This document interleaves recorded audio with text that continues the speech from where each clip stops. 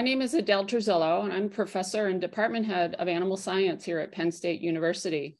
I'm filling in for Dean Rick Roush today. Uh, we are excited to have you all here for our College Connections webinar. These webinars are designed to give you a unique inside perspective on the diverse programs, people, priorities, and partnerships here in the Penn State College of Agricultural Sciences. You may have noted that we are recording this session. You will find links to this and all past College Connection webinars, as well as registration information for future events on our college website by simply searching College Connections. Please note that it does take a few days to edit and post the recordings. I'm excited because today's session is entitled Direct from the Horse's Mouth, the latest from Penn State Equine Science. I'm joined today by two of my faculty members, Brian Egan and Dr. Burt Staniar, both members of Penn State's Equine Science team.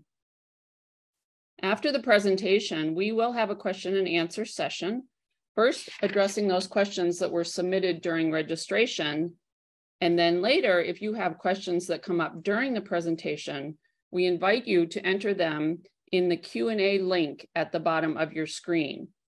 Please don't put them in the chat. Please use the Q&A uh, option. It's easier for us to track them there.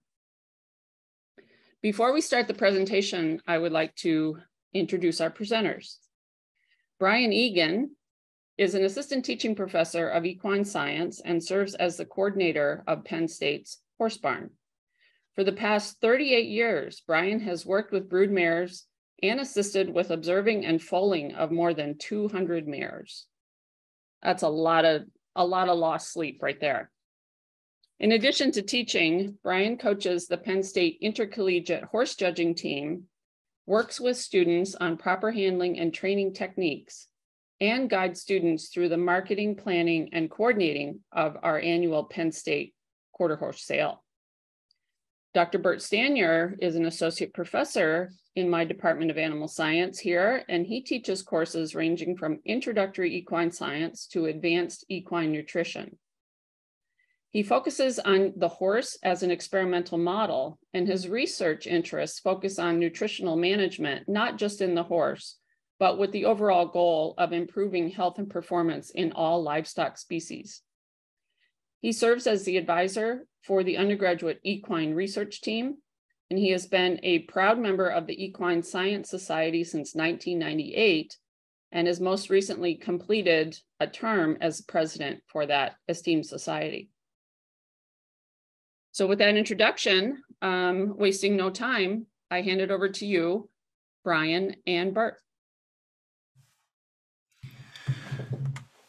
Great. Thank you very much, Dr. Turzillo.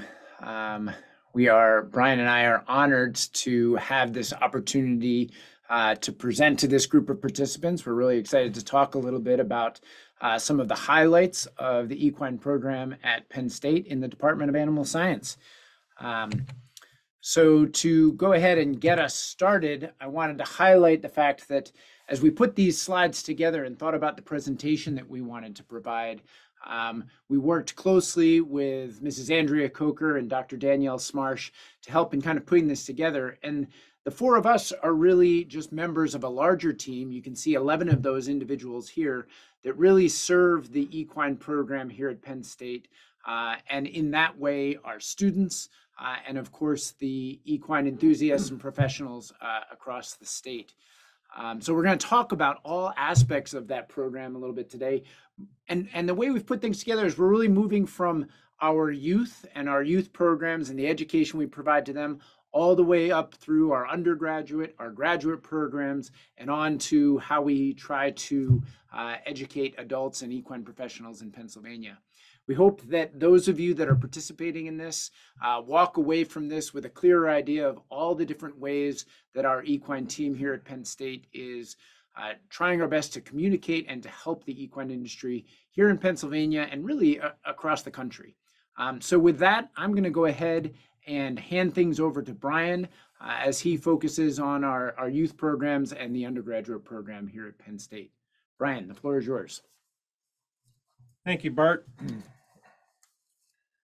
Good afternoon, everybody. So I've been kind of charged with the idea of talking to you a little bit about our youth program and our undergraduate program here that uh, we we put together at Penn State. Uh, it's it's important to note that a lot of the people within our group that Burt pointed out, we all work together on all these all these opportunities for youth and for our students and for adults throughout the Commonwealth. So we work pretty closely together, and, and because of that, I think we all feel fairly comfortable in talking about each other's programs. The 4 H program and, and undergraduate education program really tie a lot together, and they always have, um, both on campus and off. And so it makes a pretty interesting conversation to talk about the two somewhat together for me. I also was fortunate enough to work in the 4-H program for a number of years, so I've been I've seen it from both sides, um, both the 4-H and the undergraduate programs. So 4-H programs across the board um, help to teach our youth responsibility. Uh, they teach them a work ethic. Uh, they give them an ability to learn how to take records and communication skills and all the life skills that we look for uh, to try to teach young people. And then when you add the horse into it, it makes it an even more interesting program. Horses are a very attractive animal to a lot of young people, and young people that you know get involved in our horse program learn an awful lot about responsibility and they understand that no matter what the weather or whatever they have to take care of their animals. So it gives us an opportunity to help them learn important life skills but at the same time we are able to start teaching science by using the horse as a model and that'll carry through not just through 4-h but then also into their undergraduate careers on a national level, 4-H is is very well known, and the impact of it is has been shown and studied. Um, more specifically, at Penn State, I think that the Pennsylvania 4-H horse program does a tremendous job of introducing new and, and unique opportunities for youth in Pennsylvania that you don't see in every state. Uh, we have a, a horse clover buds program that's relatively new, but it provides our younger youth between the ages of five and seven to start to get involved in 4-H. The the interesting part about this program, I think, is that it's not just for youth that have horses or horse experience. A lot of the clover buds are, are getting started into the 4-H program and they're sharing horses. They're using other people's horses to develop that that interest and to develop that that first taste of the horse world, so to speak. We have a really cool program for our teen leaders called Team Horsepower. And the Team Horsepower kids are upper level teens that have have had some experience in our horse program and they apply and they get accepted and they learn a lot of really uh, important skills to help with leadership skills and communication. They learn about upper level horsemanship and how to teach those skills.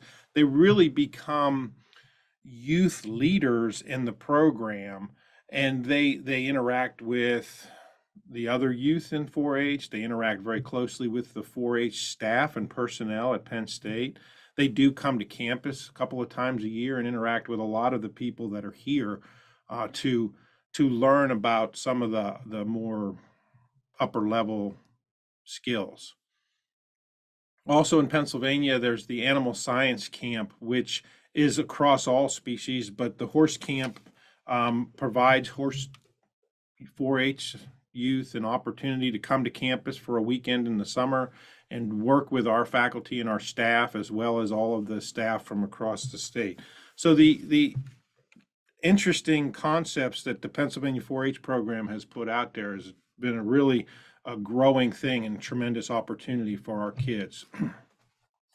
you can see on this slide just the number of opportunities that the 4-H program provides. And you can see that it's not just showing, it's not just competition, but it's an opportunity for these students to, to learn a lot of very important life skills, leadership, responsibility, teamwork. They, they do a lot of community service work. Students learn decision making, they learn communication. Uh, and these are skills that these students will carry on and, and take with them in their lives, no matter which path that they they choose to take. The combination of 4-H running through our department at Penn State and also our horse program is critical. Uh, in fact, for a lot of our undergraduate students, myself included, our first opportunity to experience Penn State is through the 4-H program, whether it be through a state dates competition or something else. Youth begin to relate to Penn State and our horse program while they're in 4-H.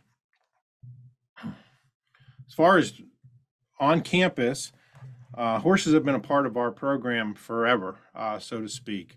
You know, horses were instrumental in um, the beginnings of Penn State as a university. Uh, in the middle of the the upper middle picture of your screen is old Coaly, who's a mule that um, rumor has it I wasn't around, but rumor has it he actually was one of the key components in helping build Old Main.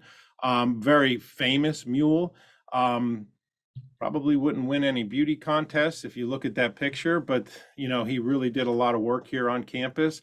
And the skeleton in the bottom is actually supposed to be old Coaly.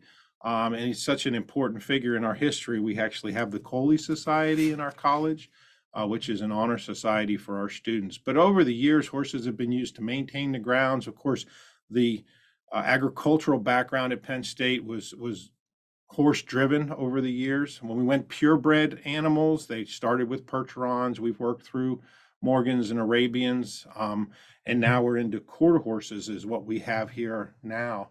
Uh, our quarter horse breeding program began in 1955 whenever Penn State acquired a yearling stallion called Sorrel Chief from Michigan State University. Um, we've had quarter horses ever since. In 2010, uh, the the American Quarter Horse Association gave us the Legacy Award for registering registered quarter horses for 50 straight years. So we're in our almost 65. We're getting close to 65 years of having quarter horses. Um, old time stallions like Sorrel Chief, uh, like Poco Shade and Rebel Sir, Skip Sue, um, and more recently we had a homebred stallion, PSU Dynamic Crimson uh, have kind of blazed the path for the horses that we have here now. Nowadays, we have between 60 and 70 quarter horses on campus, and our facilities are really close to campus. They're within walking distance um, if, if students choose to do that. Uh, and that allows them opportunities to get to the farm for different labs. Uh, outside of class, they can work at the farm. Uh, they can help with breeding and foaling. Um, many research projects are done at the farm. We have students that come and help work with horses as far as getting them prepared for the sale. One of our biggest events is our student run horse sale, which is a really a culmination of the entire year program for all students in our equine science program. This year, we have a preview of those sale horses and, and the sale itself on April 29th. Anybody was interested in coming out and truly seeing what our students do, uh, it's a great opportunity at the Snider Ag Arena to see the not only to see the students work the horses that will be sold, but also to talk to students about research projects and clubs and and all the activities that we have here on campus. Our equine science minor is just a tremendous asset to our overall program. Students can participate in any major across campus uh, and still be in our minor. Uh, we do have a lot of our animal science students that take our equine science minor. And with our equine science minor, our undergraduate program is developed to a rather large and extensive uh, opportunity for students. They have an opportunity to take classes in uh, equine marketing, but also advanced classes in equine reproduction, equine nutrition, equine exercise physiology, uh, facilitated equine therapy. So students can take a variety of different classes to really augment their, their education. Uh, and through that, we have a lot of students that can leave here then and go on and, and take on jobs in many, many different areas of the industry.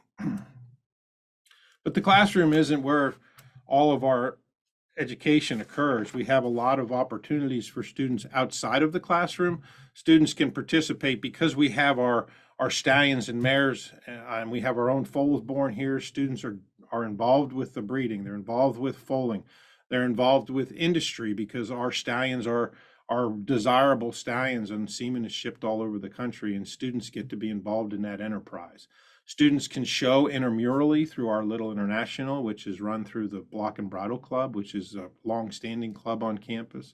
We even have some students stay for the summer and, and work horses to show in the Pennsylvania State Futurity Program.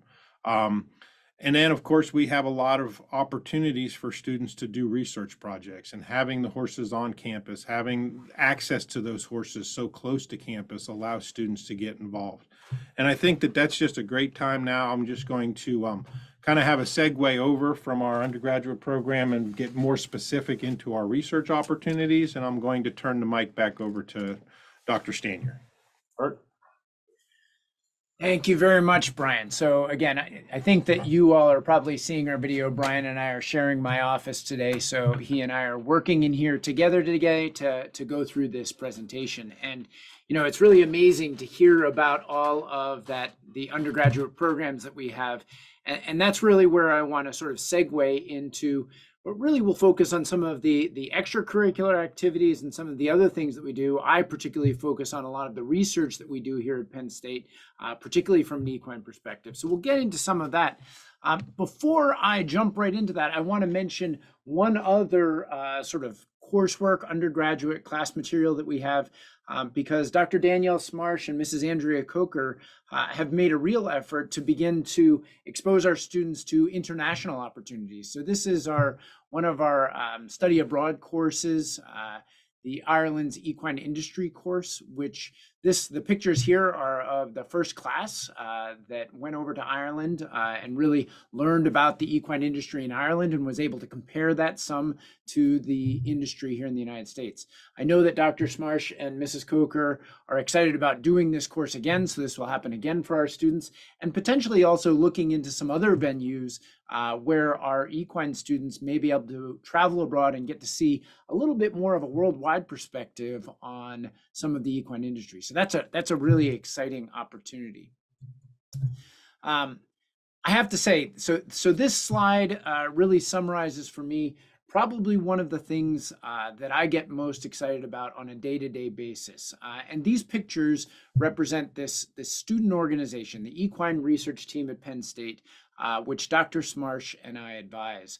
Uh, these are undergraduate students uh, that get involved in some of the research we're doing. And I think those of you that are participating in this webinar um, that are involved in the horse industry understand why it might take a team. And again, a team of individuals like this. Dr. Smarsh and I cannot do equine research by ourselves.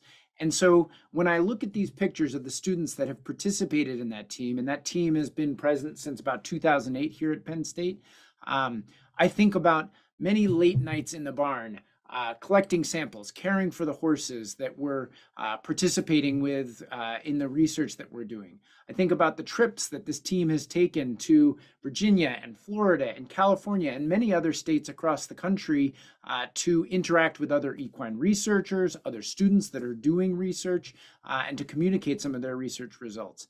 And I also see a lot of faces uh, that have become good friends of mine. Uh, that are students that have gone on to careers as veterinarians, uh, and other equine professionals, uh, many of them moving outside of the equine industry. So as I look around this, you know, I, I do take some pride in where some of these students have gone uh, and the important uh, things that they're doing, both here in the United States and even some of them around the world. Um, I think that what's really critical here is that students that participate in the research that we're doing, that's outside of the classroom. So while Brian and I and everyone here on the team know many of these students from their interaction within the classroom, it's working with these students to do something special that we can do here at Penn State, and that is the research um, that really makes a university and their participation and their presence here so special. Just to give you a couple of examples of what actually happens with some of that research, this slide shows two examples of research studies that were conducted by undergraduate students here at Penn State. Uh, the first on the left-hand side of this slide um, is something that is absolutely unique here to Penn State. No other place in the world would be able to uh, publish a study and do work on twin quarter horses. Now, we don't aim to have twins. In fact, that's not an optimal reproductive uh, outcome for horses, but every once in a while it happens. And we happen to have this set of twins here at Penn State um, and took that opportunity to study the growth and development of those twin foals. And in fact, have the only publication that you'll find in the world on the growth of twin quarter horses. And that research was done by two students who were undergraduates at the time, Patricia Ochonsky and Sheila Zimmer here. Patricia's gone on to have a career in animal nutrition with Nestle Purina, and Sheila now works in the healthcare industry. Um, on the right hand side of this slide, uh, you can see some work uh, done on teff hay, which is an important forage resource uh, for people here in Pennsylvania. And this is work that was done by Jess Bussard and Natasha Rapard. Uh, Jess now uh, actually is the executive director of I have it written down here Craft Maltsters Guild, which is kind of interesting. She's gone into the craft brewing industry and sort of aspects of that. She's also an excellent writer. And the other one is Natasha Rapard. And they were great friends while they were here. Natasha now works for Hy-Line North America, which is probably one of our country's uh, largest producers of uh, laying chickens. Um, so that's kind of interesting that they've both gone into various different aspects of the agricultural industry but also highlighting some of the research that we do here that has implications to the horse industry in Pennsylvania. Of course, we do more than just educate undergraduate students. We also have graduate students. Um, and so Dr. Smarsh and I and others work to train both master's and PhD students through our program here. And again, I've tried to provide two interesting examples of research that we've done here at Penn State um, that apply directly to the horse industry in Pennsylvania. The first of those on the left-hand side here is some work that I did with Andrea Coker uh, when she was doing her master's here at Penn State. Uh, so again, Andrea Coker, you should recognize that name. She's also now the leader of our 4-H youth uh, equine program. And this was some work looking at how um, the thoroughbred growth sort of happens, uh, creating some percentile curves, and also thinking about how when a foal is born actually influences the way that they grow. Um, and that relates to skeletal development and developmental orthopedic disease and some of the, the problems that we see in the horse industry. So we wanted to study that a little bit more. And that's where Sarah Gray, with the second study that we here have here, was looking at how different diets may influence cartilage and bone development within our young growing horses. So we did this with our quarter horses here, but this research absolutely applies to all different breeds of horse. And this research helped us to better understand how we might feed, for example, diets that have higher sugar and starch contents and how that might influence cartilage and bone development. So of course, our thoroughbred industries, our standardbred industries are very important to us here in Pennsylvania. And this kind of research directly impl implicates um, some of the ways that we're raising those young growing animals to be at their absolute best from a performance and a health and a welfare standpoint uh, here in Pennsylvania. But of course, we're doing research now. So this last slide I have on research really highlights some of what's currently going on. In the top left-hand corner of this slide, you can see a video of our exerciser that we have here on campus. And this is important because it allows us very controlled experiments of exercise of horses here on campus. And that exerciser was built because of the support both from our College of Agricultural Sciences, but also from individuals um, that donated to the program with an interest in enhancing our research capabilities here. You also see on this slide uh, some of the undergraduate students that we work with, the graduate students that we work with, and even some of the local equine professionals and veterinarians that help us with the research that we're doing. Our current research really focuses on gastric ulcers and subclinical inflammation. That's the area where we're focused right now. So some of you that are listening to this might even hear from us in the future about some of that research and, and how we want to go forward with it. But one of the most important things that we do is we do this research to try to develop answers, to try to, to answer questions that the horse community has. And an important way that we communicate that research out is through our extension efforts. So this is where we're communicating with the adults, the horse enthusiasts, the horse professionals across the state. And this is where Dr. Danielle Smarsh is really in charge of our adult extension component of things. she focuses very much on using the research-based information that we develop here at Penn State and is developed at other universities to then communicate out to the community through things like webinars, social media, farm visits. Of course, we've got Ag Progress Days here in the top left-hand corner, and they cover a whole range of different topics. So things that, you know, again, she has heard and that the community communicates to us, things like, okay, what are the best grazing techniques that I should use? How should I manage pastures? Thinking about soil health. Of course, one that's become very hot lately, and, and I'll talk about a little bit, is of course our interest in parasites. So thinking about some of the worms and appropriate deworming techniques, and also tick control. So these are all areas where our extension efforts are really focused around things that are important for the horse industry here in Pennsylvania. That communication is not unidirectional. I think that that's something that is very important to relate. We work in collaboration with the entire horse industry in Pennsylvania. So not only are we helping to communicate information out, but we're also gathering information. We're working with horse owners and professionals across the state to try to move the entire industry forward. Uh, so on the left-hand side of this slide, you're actually seeing uh, some work that was done by a graduate student that worked with Dr. Smarsh to go out and work directly with horse owners. One of those horse owners is illustrated here, lunging their horse, uh, and find out how are horse owners exercising their horses on a daily basis? How are they feeding their horses? Um, how are they caring for those horses? And, and, and what are some of the different conditions? So that we can feed that into our educational efforts. On the right-hand side of the slide, you're seeing some work um, that Dr. Smarsh has done in collaboration with Dr. Erika Machtinger here. Uh, and again, another area that's very important uh, is, of course, um, ticks and tick-borne diseases. And those are important for our horses. So trying to understand best how we can reduce the risk of some of those tick-borne diseases. Um, this work has been going on for a number of years now. Um, and so again, you can see some of the resources that Dr. Smarsh and Dr. Machtinger have uh, developed here as far as working with horse owners, collecting samples of ticks, asking them about you know the situation with their particular animals and where they're seeing ticks, and maybe looking at some ways to help prevent some of the tick problems, looking at various different fly masks and repellents that can be used um, to help in managing uh, those ticks. So again, if you want to learn more about this, you definitely want to uh, look at some of our extension resources. To highlight some of those extension resources, uh, this is kind of, you know, what are some of the, the programs that Dr. Smarsh is most proud of or, or focuses on the most, and those are kind of highlighted here. Uh, first of all, uh, fundamentals of equine pasture management. As I will highlight in the next slide, forages are absolutely critical to our horses, and Dr. Smarsh and her team definitely focus on pasture management.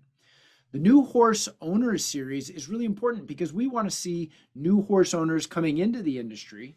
And again, as Brian pointed out earlier with youth, people don't always have horses or, or have the barn. We can't always see people face to face.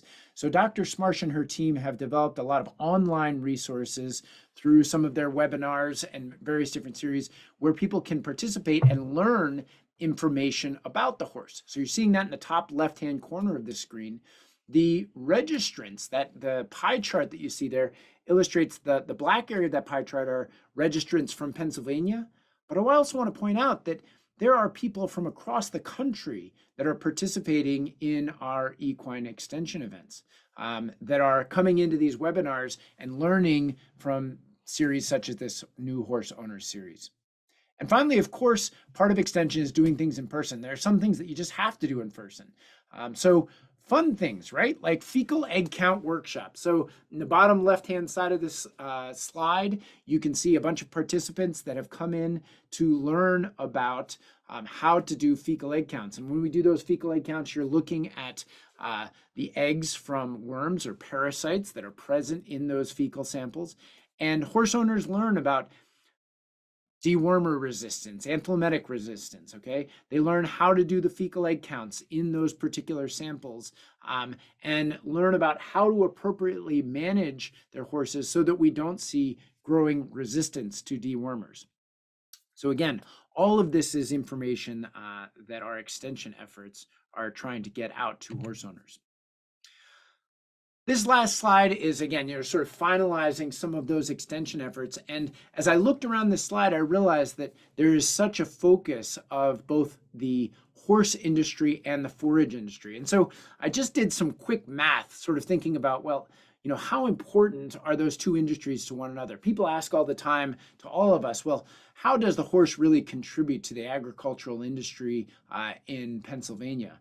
I just want to highlight there's probably around 225,000 horses in Pennsylvania. Pennsylvania is in the top 10 states in the country as far as horses. And those 225,000 horses are probably consuming, and again, I just did some quick math here as a nutritionist, around 600,000 tons of forage annually. Okay, so I just want to illustrate that again 600,000 tons of forage on an annual basis. The relationship between our forage production and our forage producers in Pennsylvania and our horse industry is absolutely critical.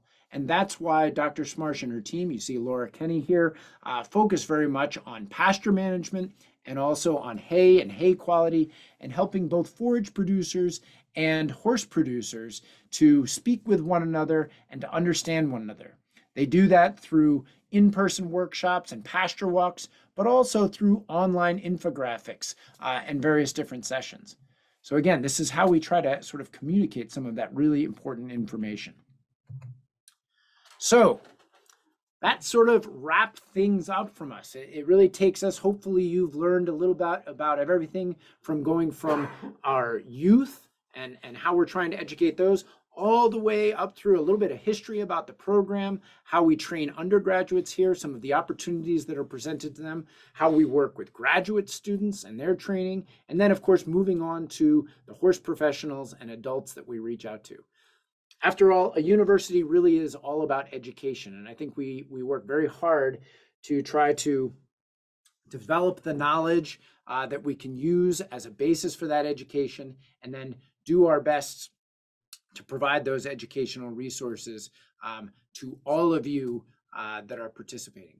So again, we're very honored to be able to do that. And I think Brian and I are going to go ahead. We did have some questions that were submitted um, before the start of this, so we're gonna we're gonna answer a couple of those questions, uh, and then we're gonna sort of see what kind of questions you all might have from the question and answer session. I'll highlight at this point while Brian and I are answering some of these, and I may have to stop sharing my slides for a moment to get to those. Um, you all can go ahead and continue to put questions into the question and answer area, uh, and Dr. Turzillo will probably read some of those to us after we get through a couple of the pre-submitted questions. So with that, I'm going to go ahead and see if I can get to these other questions now. You can see the nice background on my screen here. Um, all right. So I'm just going to leave this nice background up for you guys here, and we're going to answer a few of these. One of the questions that we got um, was, please discuss the importance of the equine industry to the overall agricultural economy. Um, and I think that's a, you know, my last discussion uh, really plays into that quite well uh, because the horse industry has huge indirect uh, economic impacts. Uh, the forage industry is probably one of the greatest of those, right? So we talk about both hay production, uh, fresh forage production, and the pasture that's required, but we can also talk about all the other feed resources. And then all the other things that that horses are involved in as far as of course there's the tack there's the clothing industry there's um, all of the shows that happen and the recreation that's associated with that. Um, so there are many ways uh, that the horse industry has a, a great impact on the agricultural economy. Brian i think i'll give the next question to you. Okay great. So somebody asked what is says what is your favorite horse breed personally, my favorite breed is the quarter horse. Uh, although you know, I, I appreciate all good horses, no matter what breed they are, and really a good horse has nothing to do with the breed. But I think what's interesting is that our student base here at Penn State is represented by students who all kinds of breeds are their favorites, you know, and they come from a variety of backgrounds, and we're able to use the quarter horse here um, they're a little bit smaller, maybe a little bit calmer, a little bit slower, but our students are able to use those quarter horses to learn. It doesn't really matter what their favorite breed is. Um, and then somebody else asked, there's two questions that are pretty closely tied. One is, what is the appropriate age to start riding a horse under saddle?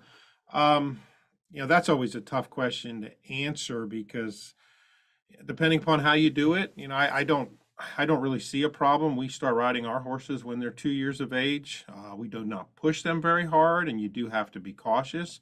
Um, but there are other folks that believe that you should wait a little bit longer, and I don't see anything wrong with that thought process either. A lot of that's really individualized, but also, you know, if you do it properly, I, I don't see a problem starting horses slowly at the age of two. and then somebody asked, what is the best technique for training a horse? I'm Best technique that's a tough one. You know really the best technique is the technique that works best for you um, as long as it's humane and proper. You know we we use a lot of um, pressure and release here at penn state. Uh, negative reinforcement is the, the technical side of that but again i think it's really more more determined by how you do something as to whether or not whether it's the best or the worst all right, so I think the next one's mine. Uh, so the question came in: How do you treat musculoskeletal problems in horses in the field, for example, and then muscle atrophy is brought up, and how do you treat tendon injuries? Um, I want to highlight here uh, that neither Brian nor I are veterinarians, uh, and so our veterinarians are a very important uh, resource as far as the treatment of various uh, different diseases, various different mus- musculoskeletal problems. Uh, we are lucky enough. Uh, Dr. Ed Jedrzejewski is our uh, farm manager. So we have a veterinarian that manages our horse farm here at Penn State, uh, and that is an incredible resource for us um, as far as being to have being able to have appropriate care of our animals and all the things that we're able to do. Uh, having said that, musculoskeletal problems are a really interesting area that that I am interested in from a research perspective. So I have done a lot of work studying uh, skeletal development, cartilage development, uh, thinking about how we can optimize that development so that we have healthy athletes. Because of course, uh, that is absolutely critical to our horses. So I hope we get to continue uh, doing some of that research here at Penn State. Uh, the last question we're going to take is uh, what kinds of research and studies are being done to feeding probiotic supplements to horses? Uh, and I chose this one because this is a, a really common question we get these days uh, as far as some of the supplements.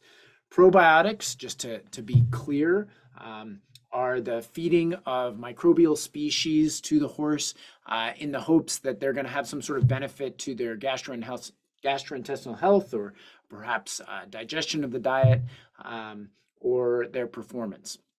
Uh, we have a faculty member here, Dr. Erika Ganda, who is in our department that specializes in the area of the microbiome, which is really, that could be the microbial species anywhere on the body, um, including within the gastrointestinal tract. Uh, and so there's opportunity to work directly with scientists like Dr. Gonda to study these kind of questions. We've not done anything specific looking at that, uh, and I would say that my understanding of the research is there's some good information out there, and there's still a lot that we have to learn uh, about probiotics. So, with that, uh, I think we've answered some of the questions we got beforehand. Um, Dr. Turzillo, I think at this point we'd be happy to maybe take a couple of questions uh, that have popped up in the, in the Q and A. Fantastic. So we do have quite a few questions that have popped up in the Q&A. So that indicates to me that people were interested in what um, you uh, two had to say. So first question is, are the animal science and equine science camps open to youth who are not active in 4-H or residents of Pennsylvania? I'll try to answer that one. Um, to the best of my knowledge, in order to participate in the 4-H camps, they have to be 4-H members. We don't have any, we don't have any youth programs on campus that I'm aware of that are not associated with the 4-H. Uh, there's a FFA that comes up for the FFA judging contests and competitions, but for our 4-H science camp, I believe that's only for 4-H youth. I will also say at this point, Dr. Turzillo, that, and, and I know this may have been put into the chat, um, but we will be supplying the college with some links uh, to all of the different resources, many of the different resources that we've mentioned during the webinar today. So those will be either on the college's page associated with this College Connection video, or perhaps even in the YouTube area. So there'll be, again, a lot of resources where people can go and read about some of these things afterwards. And I know that there will be a link to all those 4-H resources. Great. Thank you both. Next question is, what is teff hay? T-E-F-F. What is teff hay? That is a great question because, of course, I brought that up as a, as a part of the presentation. So teff hay is a it's a grass hay. Um, it's originally from Ethiopia, um, but it has actually gained quite a bit of popularity here in North America. Um, I originally did some work with teff hay when I was down in Virginia, um, but it's also grown here in Pennsylvania now, and it is a, another possible forage source for horse owners. So many horse owners will know about Timothy or they'll know about orchard grass. Um, I would say for both our forage producers and for our equine producers, it's good to have a number of different forages that we can use because those different forages grow well under different conditions.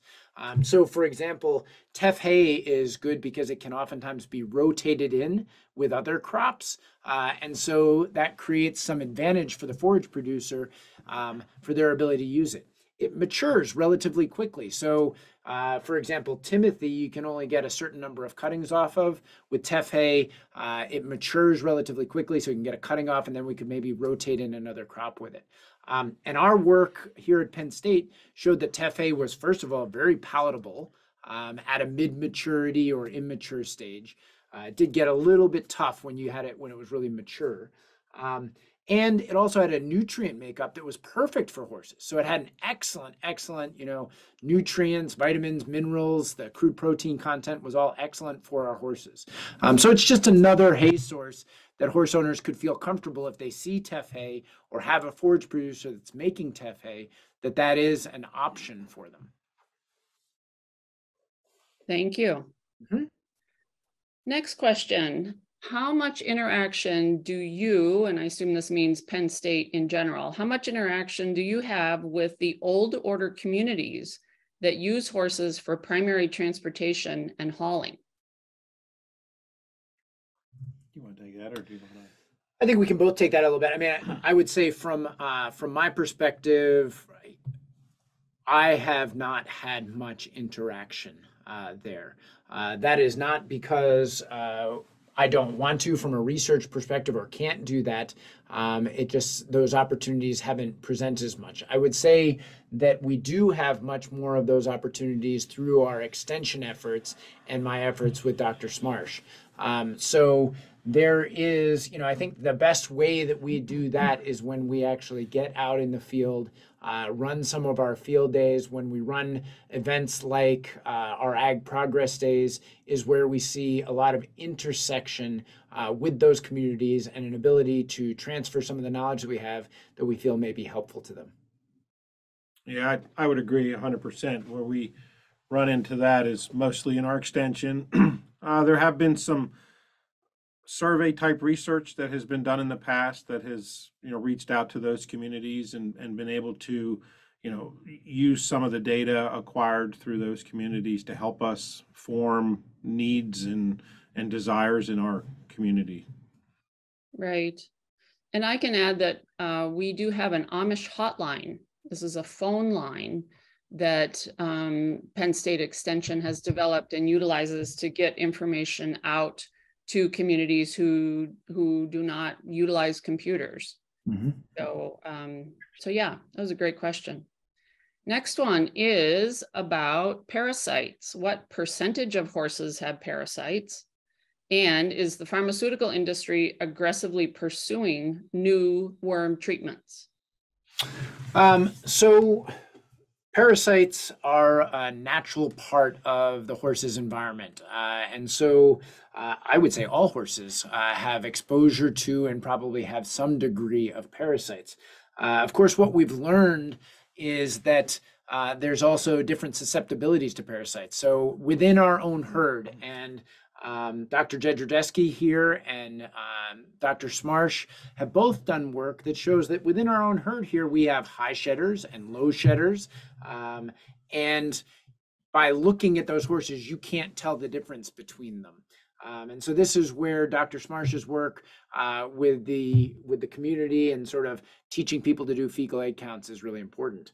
Um, as far as working with the pharmaceutical industry, uh, I don't think that there has been as much effort as there probably could be on dewormers um, and appropriate techniques there. So we are seeing growing resistance to many of the dewormers. And I don't think the horse is alone as far as our livestock species go and that problem. Uh, I think the difficulty there is probably larger than we can really tackle in this webinar from an from an economic perspective. Um, but right now, it's something that we all need to be aware of. And I think that what we try to communicate to horse owners is that it is our responsibility to work with the dewormers that we have now and do everything that we can to try to uh, reduce the growth in resistance uh, that we see. So that's that's really what we have available to us right now. I also hope that some of the students that Brian and I are passing along to that do go on into the pharmaceutical industry and that sort of thing, maybe they'll carry some of this forward and, and think about some ways that we can actually improve things there. Right. All right. Next question um, is about research and extension. The equine industry is historically not as organized as some other commodity groups, such as poultry, dairy, etc., which often funds research to some degree. Can you think of ways the equine industry could work to support equine research and extension in the state? Uh, that is something that Brian and I and the entire team uh, probably talks about on, on, on a very regular basis. And, you know, I guess I would take this very special opportunity that we have to, to speak out to the world and, and to some of our uh, equine interested people out there and say we are more than happy and excited to uh, collaborate uh, with the industry. We do need the equine industry's help, and and I would very much like to see the the equine industry do a better job of all working with one another um, to support. And again, it's not just Penn State. I would say it's many of our universities where unbiased and critically evaluating research can be done that will benefit the entire industry, will benefit not only that the companies that are out there, but also the individuals. So, you know, where is that money going to come from? Where is that funding going to come from? Yes, uh, perhaps the equine industry can support some of that by coming together. You know, I don't know whether it's through feed checkoffs or or something like that. But I also think what's important is that uh, individuals that are out there uh, that have an interest know that we are happy to have their help. Uh, it would be great to have a conversation with some of those people and talk about how they might help to support both our educational programs that we have here and the students that are participating in that, but also those research efforts that is the sort of the seed and the foundation for the knowledge that we use for the education we can provide. Do you want to add anything to that? I probably not, but you know, one of the things I think we see and, and the reason that we're a little bit less organized as an industry is because quarter horse people are quarter horse people and thoroughbred people are thoroughbred people and draft horse people are draft horse people. And I think at the end of the day, we forget we're all horse people. And if we could all just kind of um, work together in that respect and understand that, you know, even though Penn State has quarter horses, the information we gain from those quarter horses can be applied just as readily to the thoroughbred industry as it can be to the draft horse industry. You know, and, and if if somehow we can break through that barrier of that mindset, then maybe some of that money will start to come together and realize that you know the breed itself is not as important as the overall industry.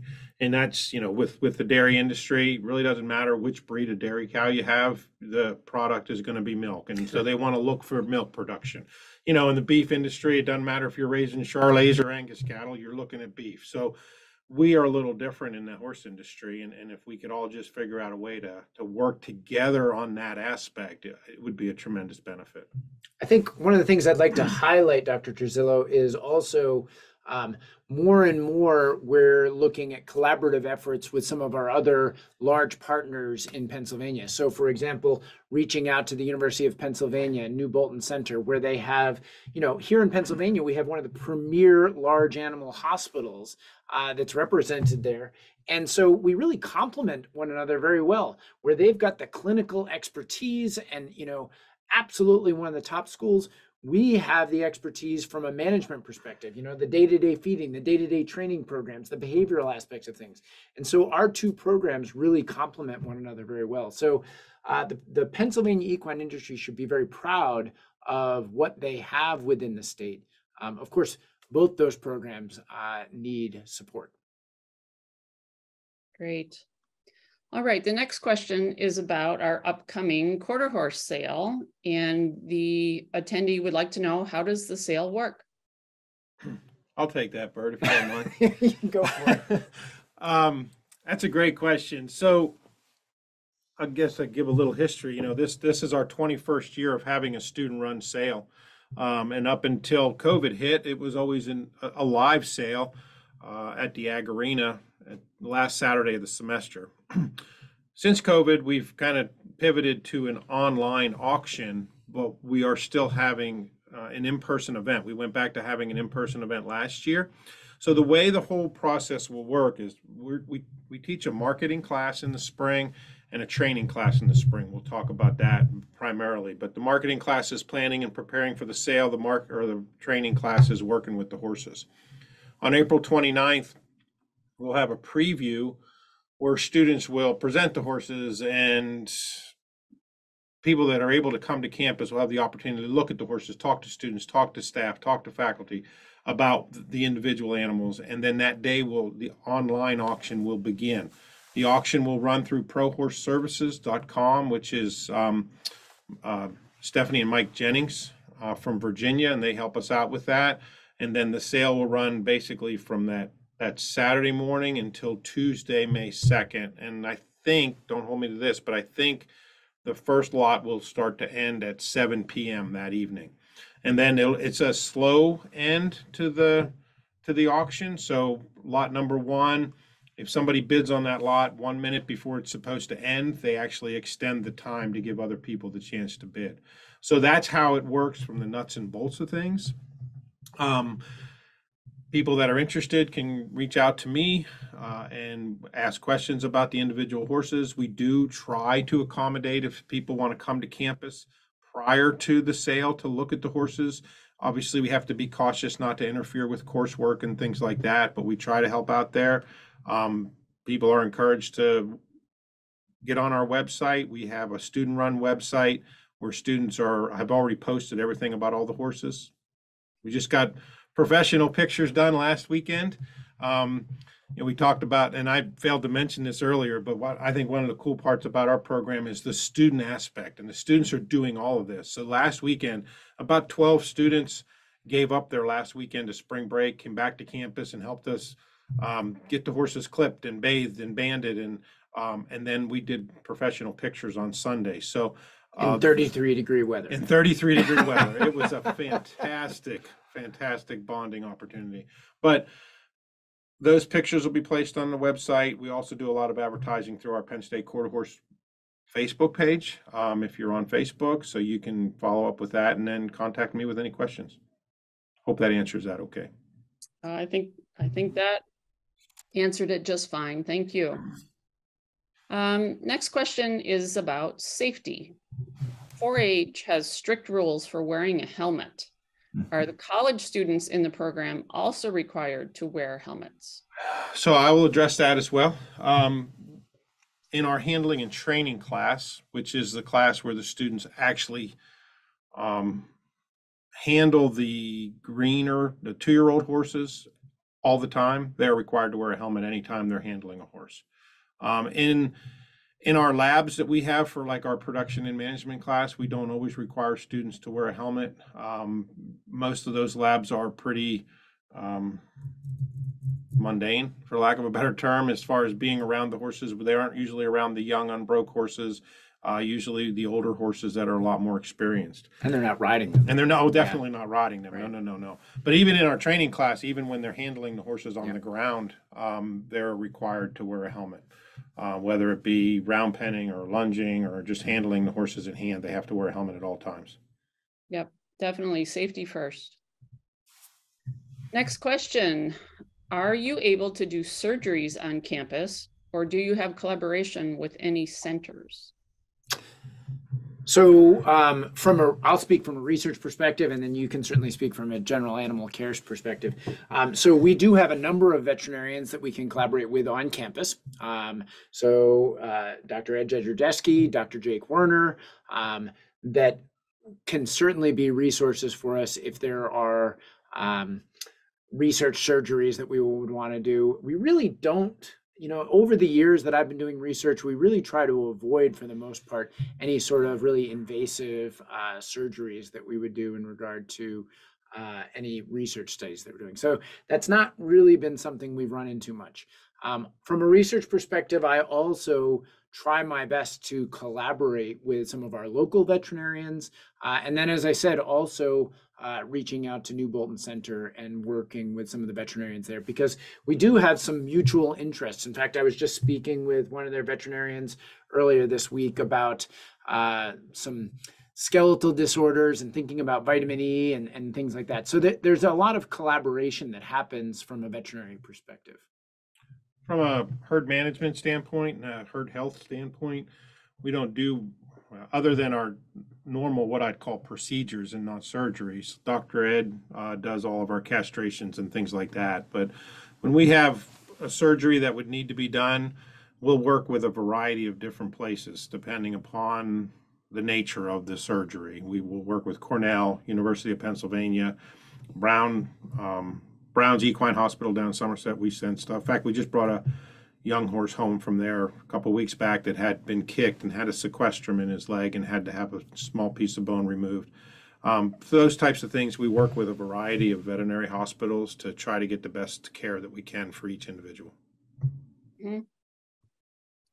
And I think we have time for one more quick question. Does Penn State specialize in certain riding disciplines, or are we open to most common disciplines in riding?